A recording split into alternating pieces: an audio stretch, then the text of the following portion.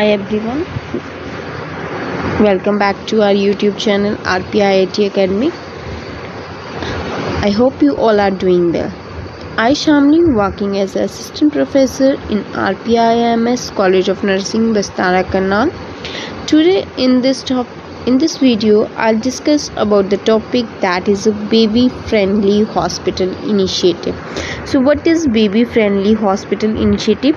It is the programs which is which was launched by the UNICEF and the World Health Organizations in the year of 1991. So what it is? The baby friendly hospital initiative which is also known as B FHI that was launched in the year of 1991 by the UNICEF and World Health Organization. It has served as a motivating force for the maternity facilities around the world to implement the policies and practices which supports the breastfeeding.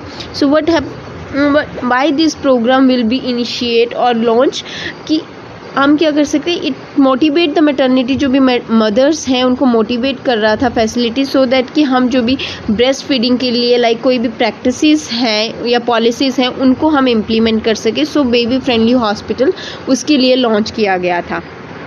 So baby friendly hospital initiative seeks to provide mother and babies with good start for the breast feeding increasing the likelihood that babies will be breastfed exclusively for the first six months and then given appropriate complementary foods while breastfeeding continues for the two year or beyond so what they said कि they said कि जो भी हमें increase करना है breast feeding है वो हमें increase करनी है we have to increase the likelihood of the babies की बेल वो एक्सक्लूसिवली क्या करें टिल सिक्स मंथ्स तक एक्सक्लूसिवली ब्रेस्ट फीडिंग के लिए हमने encourage we have to encourage the mother to breastfeed their babies for the 6 months after the 6 month we encourage the mother to start the complementary feedings and continue his breastfeeding for the till last two year जो भी ला जो भी further two years होंगे उनके लिए हमने क्या करना है ब्रेस्ट फीडिंग कंटिन्यू रखनी है and after six month we will start the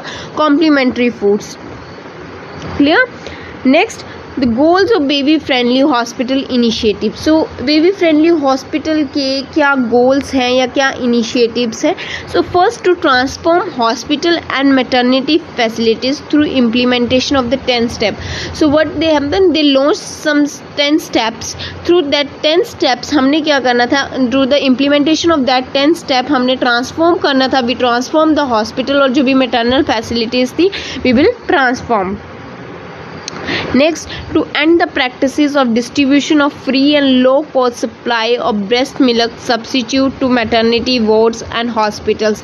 Like nowadays क्या हो रहा है कि बहुत सारे ब्रेस्ट फ़ीड के सब्सिट्यूट आ जाते हैं मार्केट्स में अवेलेबल होते हैं। तो उन प्रैक्टिसेस को हमने क्या करना था? बिल्कुल ही हमने ख़त्म कर देना था। उनको अवॉइड करना था कि वो चीज़ें प्रॉपरली डिस्ट्रीब्यूट ना हो या लो कॉस्ट सप्लाईज में लोग जो है उसको बाय ना कर लें। तो हमने क्या करना था उन प्रैक्टिसेस को एंड कर देना था कि वो डिस्ट्रीब्यूशन ना हो सके। हमारी जो भी मेटर्निटी वार्ड्स हैं या हॉस्पिटल्स हैं। Clear next we will discuss the ten steps of successful breast feeding so the first is have have a written breastfeeding policies that is routinely communicated to the all healthcare uh, healthcare staff.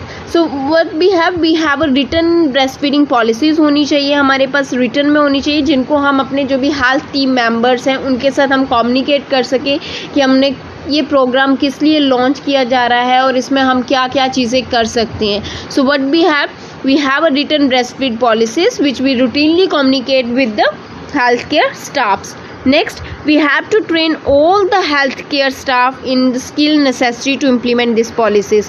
What we have if we implement this policy we have a skill staff तो हमारे पास skill staff होगा या फिर हम क्या करेंगे either हमारे पास स्टाफ है we train all the staff जो भी हेल्थ केयर स्टाफ है we have to train them to implement this policies clear next inform all the pregnant women about the benefits and management of breastfeeding. Now, what we have to do, what we will do, we will we will inform the mother or educate the mother regarding the benefits of breastfeeding कि इसके क्या क्या benefits advantages क्या हैं हम क्यों breastfeeding देना चाहते हैं अगर इसके अगर हम breastfeeding नहीं देंगे तो उससे बच्चे को क्या नुकसान हो सकता है क्या हेल्थ पे इफ़ेक्ट पड़ेगा तो we have to educate mother about the benefits of breast feeding ठीक है next helps the mother to initiate breastfeeding within a half hour of a birth so this step is now interpreted. The place the baby in a skin to skin contact with their mother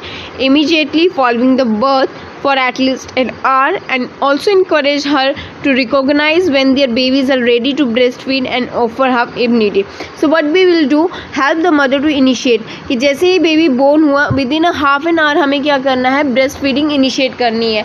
So now it is interpreting हम क्या करते हैं? जैसे ही baby हो जाता है तो हम क्या करते हैं? बेबी को और मदर को एक स्किन टू स्किन कॉन्टैक्ट दिया जाता है immediately with the mothers following birth after at least one hour के लिए हम उसको स्किन टू कॉन्टैक्ट करते हैं so that it helps and encourage the mother to recognise her baby उसके बेबी को रिकोगनाइज करें and they will she will start the breast feed and offer her if there needed अगर कोई भी ज़रूरत होगी तो वो उसको ऑफ़र करेंगी. Clear next step is show mother how to breast feed अब हमने क्या करना है? इफ़ शी डजेंट नो कि how to breast feed we have to show that we have to educate how to feed her baby तो हमें उसको क्या करना है? हमने उसे बताना है, उसे दिखाना है कि कैसे हम ब्रेस्ट फीडिंग करवानी है and how to maintain lactation even if they should be separated from their infant तो हमने क्या है? अपनी अगर बेबी के साथ वो सेपरेशन हो गई है इन्फेंट्स तो उसने अपनी लैक्टेशन को किस तरह से मेंटेन करना है? For that we have to educate that mother clear next give newborn infants no food or drink other than breast milk unless medically indicated so हमने क्या करना है जो भी न्यू बॉर्न बेबी होगा we will not provide any pacifiers जो भी होंगे वो हम अवॉइड करेंगे कोई फ़ूड एंड ड्रिंक नहीं देना we only have to give breast milk हमें क्या देना है? सिर्फ़ ब्रेस्ट मिल्क भी एक्सक्लूसिवली हमें क्या करना है? फॉर द सिक्स मंथ्स के लिए हमें सिर्फ़ बेबी को ब्रेस्ट फीडिंग पे ही रखना है, ठीक है? अनलेस मेडिकली अगर कोई चीज़ इंडिकेटेड नहीं हुई है देन हम क्या करेंगे? सिर्फ़ ब्रेस्ट फ़ीड करेंगे। नेक्स्ट प्रैक्टिसिंग रूमिंग इन हम रूमिंग इन मीन्स कि हम अलो करेंगे मदर को और इन्फेंट को कि वो ज़्यादा से ज़्यादा टाइम स्पेंड कर सके twenty four hour a day वो अपना टाइम स्पेंड करे सो so दैट कि वहाँ पे क्या होगा, उनका जो बोन है मदर और बेबी का वो क्या हो सकता है डेवलप हो सकता है, ठीक है? और स्ट्रॉन्ग बॉन्ड बन सकता है। Next encourage breastfeeding on demand हमने क्या करना है? इनकरेज करना है for the breastfeeding next give no artificial teats और पैसिफायर ऑल्सो डमीज और सूथर लाइक आपने देखा होगा, छोटे बच्चों को कीज की तरह पैसीफायर या सूथर्स आते हैं, वो बच्चों को हम दे दिए जाते हैं। We have to avoid that also कोई भी आर्टिफिशियल टीट्स और pacifiers we will not provide to the babies only we are giving breast feeding to the babies and the last step is that is foster the establishment of breast feeding sports group and refer mother to them on discharge discharge the hospital और clinic अब हमें क्या करना है कि जो भी establishment हो रही है ब्रेस्ट फीडिंग जो स्पोर्ट्स ग्रुप हैं, उनको हमने क्या करना है इम्प्रूव करना है, ज़्यादा से ज़्यादा करना और मदर्स को रेफ़र करेंगे जब वो डिस्चार्ज हो रही है कि वो उन हॉस्पिटल्स और क्लिनिक में विज़िट करें so that they can the clinics members will educate the mothers and give in education regarding the benefits of the breast feedings और ये सारा उसके बारे में बता सके so this is all about the ten steps of the successful breast feeding और the steps which was given by the W H O and UNICEF. So I hope this video will help you thank you for watching it.